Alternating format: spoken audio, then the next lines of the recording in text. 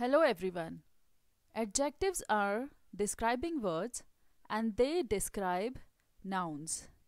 Adjectives हमें nouns के बारे में मजीद मालूम फ्राहम करते हैं Adjectives की कई किस्में हैं और आज मैं आपको इनकी एक किस्म क्वालिटेटिव एडजेक्टिव्स के बारे में बताऊँगी qualitative adjective show us the quality of a person place और thing which means qualitative adjectives tell us the quality of the noun.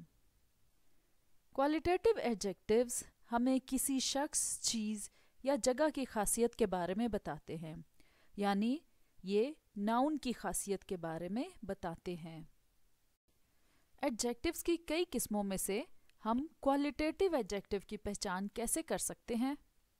इसका एक आसान तरीका ये है कि हम किसी भी चीज़ के बारे में एक सवाल पूछें, और वो सवाल है what kind of and if any adjective gives you the answer of this question that means that adjective is qualitative adjective look at these examples what kind of grass green grass what kind of day rainy day What kind of man?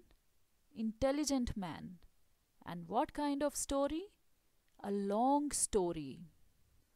Qualitative adjectives हमें noun की किस किस किस्म की खूबी बताते हैं ये हमें किसी भी नाउन यानी चीज़, जगह या शख्स के रंग, उसके साइज़ शेप और उसकी खूबियाँ और खामियाँ, यानी उसके एट्रीब्यूट और कैरेक्टरिस्टिक्स के बारे में बताते हैं Lubna was wearing a red shirt.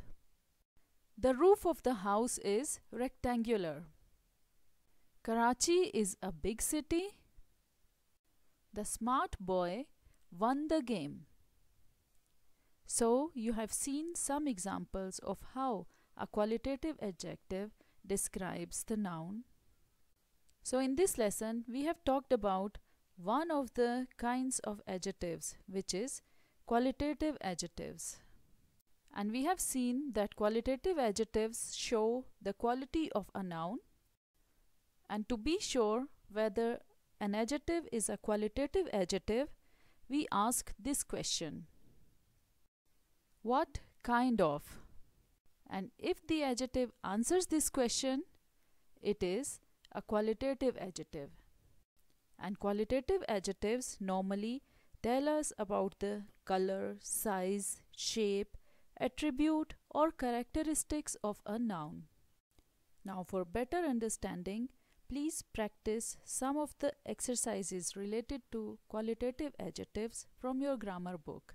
Until next lesson, goodbye.